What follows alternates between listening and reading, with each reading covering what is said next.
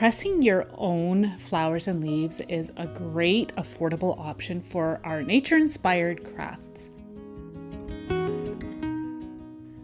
I'm going to take you all around my yard and we're to gather some leaves and flowers together. I'll do my best to have the names for you. If I can't remember, I'll just mention this particular one here. I honestly cannot remember what it is. It's a different name, but it's got beautiful, delicate leaves and beautiful flowers. I have this fern. It actually popped up all on its own and it always grows these beautiful fronds. They're great for drying. I also have this shrub here. I think this is called Bridal Veil Spirea. I'm not 100%, but let me know down below if you know.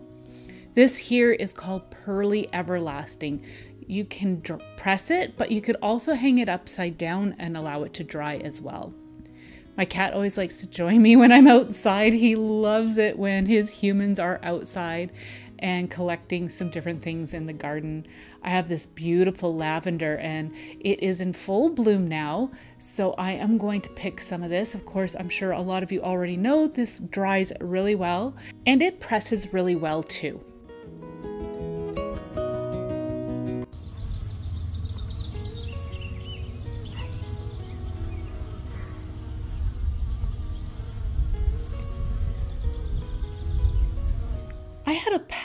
Of some little violets that always self seed themselves. So I get an abundance of them in this little patch here. And these press really nicely. Along with these snapdragons, these are just starting to bloom. So I just snipped off a few of them just to give you an idea. I have this beautiful phlox. It dries amazingly. I was so impressed. My, of course, my little buddy here is following me around again, hiding underneath some rhubarb. Now, Sweet Williams, I've never tried it before, so I wanted to give it a whirl. It, I was okay with it. These are bachelor buttons, also known as cornflower. They are so beautiful for drying and pressing. These are some other flowers, some lady's mantle geraniums and roses, and I'll be showing you a few other things. So there's a few different ways that you can press your flowers. This is an old phone book. I'm just putting some sheets of paper in there just to protect uh, people's identity. I also have this little mini press that I picked up from the thrift store, and this is great for pressing little flowers. Now, if you're interested in seeing how one of these could be made, just drop me a comment below and I will do my best to put one together for you. But this is great if you can find them at the craft stores or sometimes if you've even seen them at gift shops. This particular press was actually my dad's. He used to have to collect some samples. He was in forestry as well as worked for Ducks Unlimited here in Canada. And he needed to collect samples. And so he gave it to me when he was no longer using it.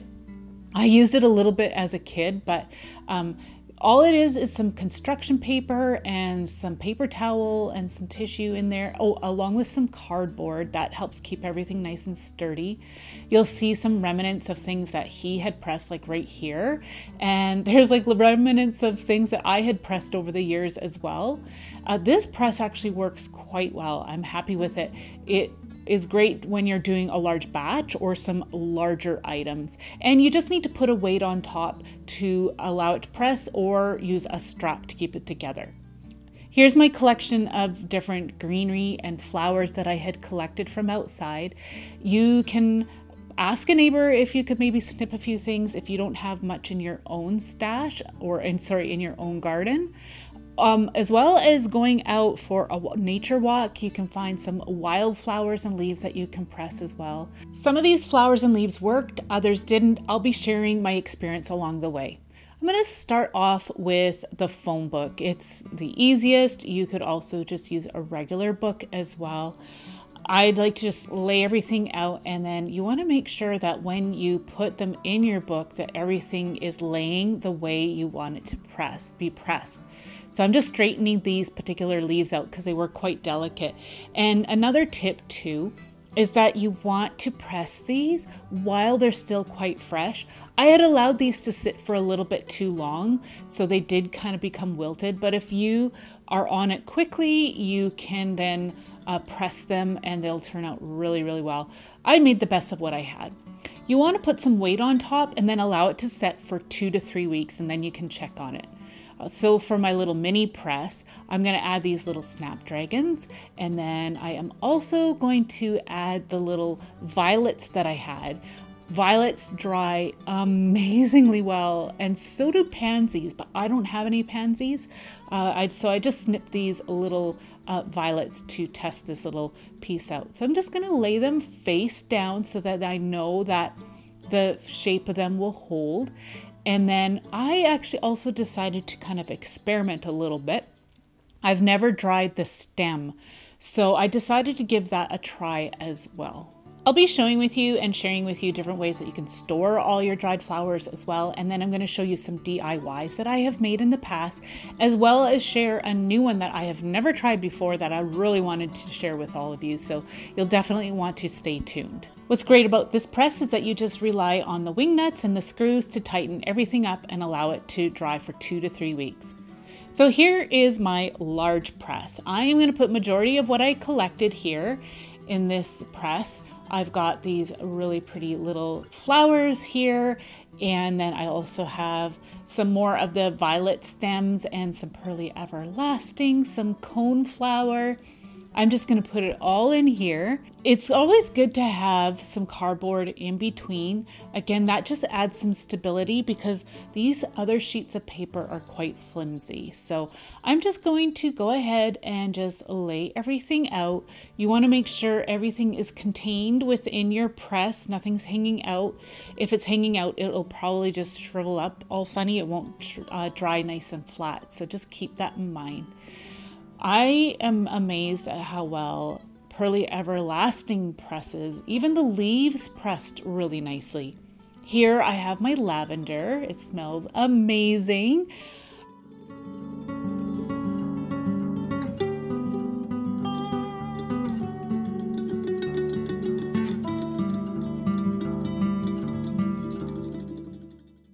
So this here is Lady's Mantle and it dries really nicely. Even the leaves turned out beautiful. I have um, hung this upside down to dry before and that works well too.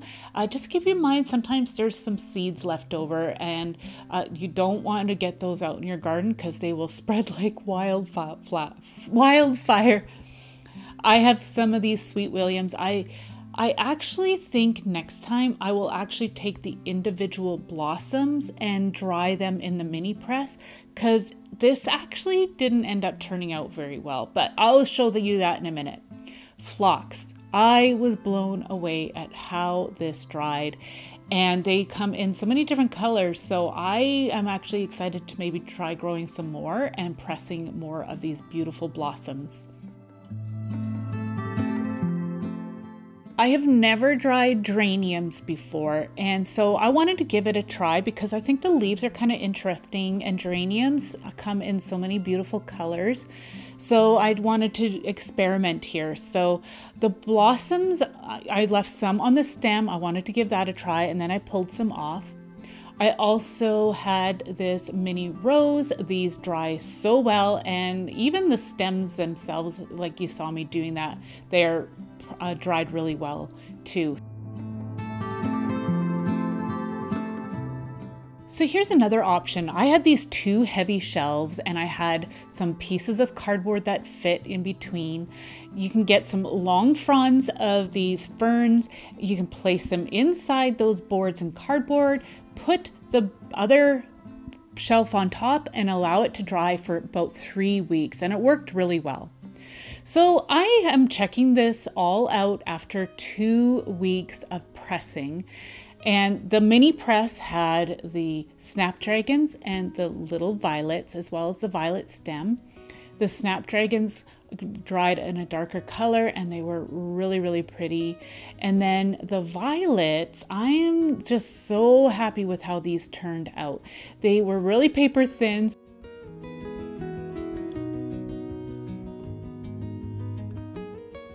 Uh, the stem, now it dried really well. I have to say, I was really happy with it, but some seeds were remain. You can see them there on the paper, so just keep that in mind. Now, on to the foam book. I am just going to show you what I have in there. These leaves here. Now, some of them, they were dry, these smaller ones, but some of them still need needed another week to dry. Uh, you'll see some of them are kind of floppy, like this stem right here. So I knew it needed some extra time, but others I was impressed. They were already dry. So if you run into that, just put them back in and just set them aside again for another week and then check on them again. I'll be showing you that here in a minute. But first we're gonna check the large press. Now, some things worked out really well in here, such as these hydrangea.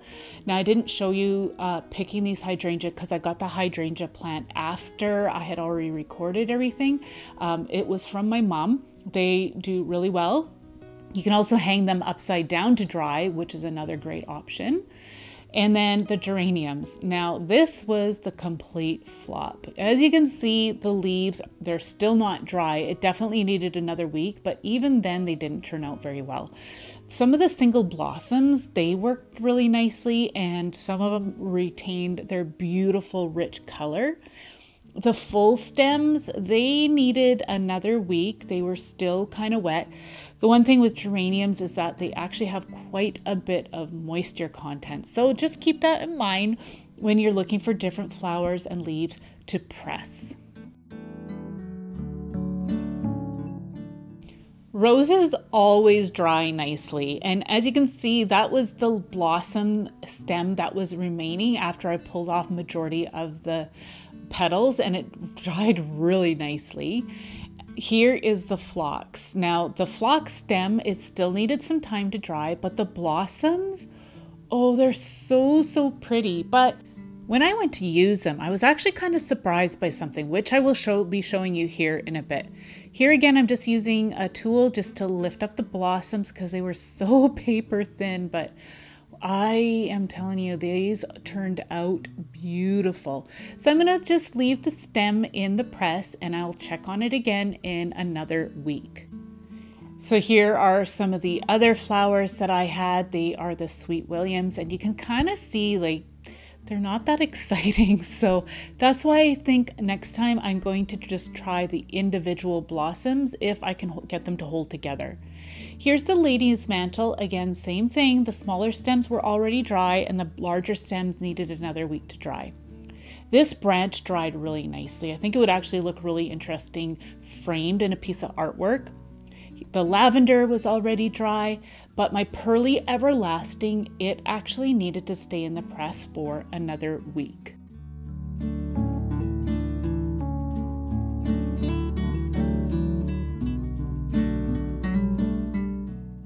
So ferns typically dry really nicely, but for some reason, this one, it was starting to brown at the stem and working its way out onto the leaves. I'm not sure why that is, but typically they dry nice and green. And I'll be showing you here in another week.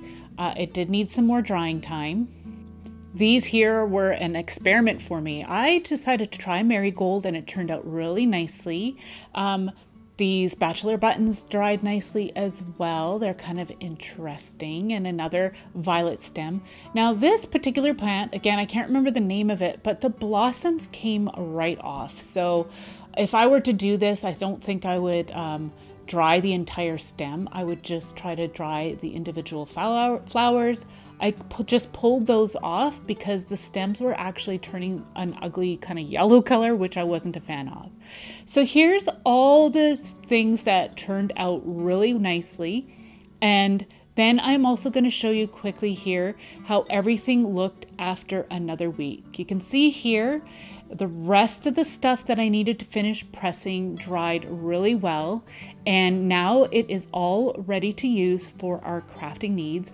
The geraniums were a flop except for the individual blossoms. All right, so for storage, I just, I don't actually do anything too fancy.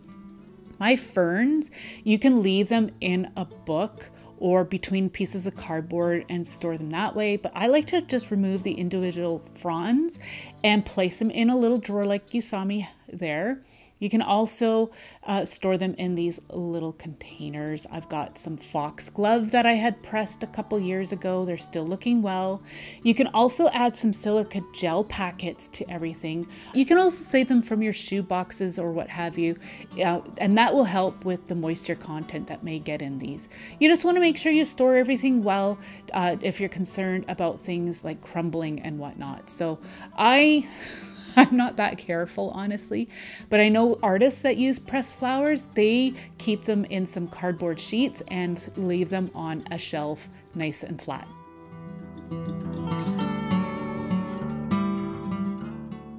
So I just want to first show you some things I've already made. I made this hoop with some pressed flowers and leaves. This is a pressed rose in a candle jar. I had also done this beautiful orb where I used tissue paper and some fern leaves and added a tea light. I'm going to have all the original videos for these down in the description box for you to check out. And then I am also going to show you another tutorial. I have been wanting to try decoupaging with some dried flower, pressed dried flowers and leaves. So you're going to need a soft bristle brush and a clean jar along with some decoupage glue. I'm just going to trim up some of these fern leaves that I had pressed. This again was after some three weeks of drying time. Of course, use any type of leaves that you have dried. I'm also going to be using the beautiful phlox that I had pressed. And I'm going to throw in a few of the hydrangea as well because I didn't have quite enough of the phlox for this project. I wanted to try the yellow rose petals, but I don't end up using them. I just didn't quite the way like the way it looked. So you're going to start off by applying some of your decoupage glue to the jar and we're only going to be working in sections. Now you can start to add some of your florals or leaves and then you want to apply some of the decoupage glue over top. You want to make sure that your brush is nice and soft because these are very, very delicate. Now you'll also want to keep in mind that these will in time absorb some of the moisture from the glue, but they don't right away. At least the fern leaf didn't right away. So you'll just have to be very, very careful with how much glue you apply because in time they'll become a little bit more pliable. So I'm just going to continue to work in sections and add some of the leaves and some of the flowers until I get a look that I'm really, really happy with. So here I am going to try a little rose petal and I mean, it was okay, but I wasn't that crazy about it. So I decided just to leave the rose petals off and I just continued to use the phlox and the fern leaves along with a few of the hydrangea.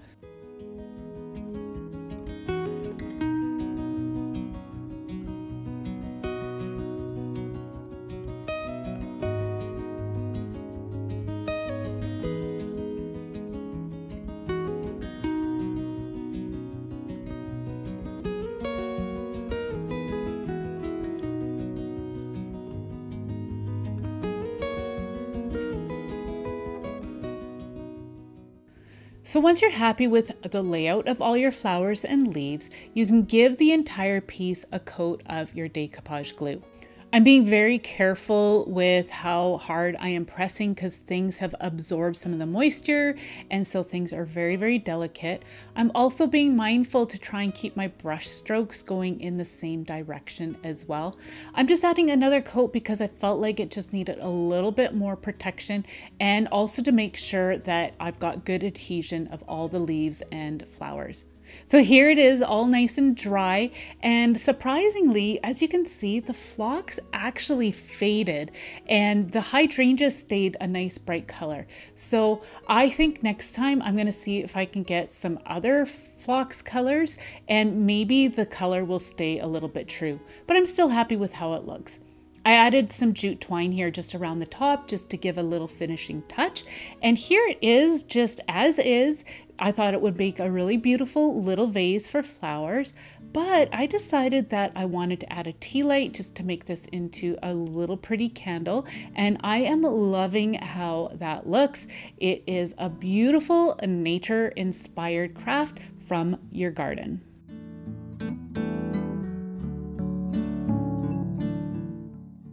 If nature inspired crafts are your thing, then I have a playlist for you here to the right. I want to thank you so much for joining me today, and we will see you in the next one. Take care. Bye.